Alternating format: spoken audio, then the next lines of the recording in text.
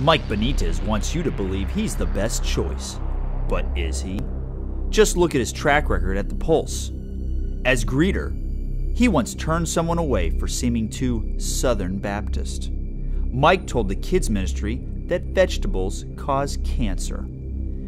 He often puts Cuban pesos in the offering plate. He demands to have his own Pulse trailer because he once starred in that one movie once.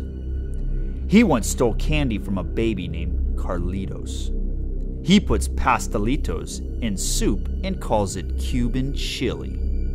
And when Pulse Church does BOGO for Thanksgiving, Mike keeps the go for himself. He says the less fortunate should just be more fortunate. Wes Peterson, on the other hand, wants to help with BOGO. Wes wants the less fortunate to be less less fortunate. So a vote for Wes helps BOGO. A vote for Mike is a no go. I'm Wesley Peterson, and I approve this message.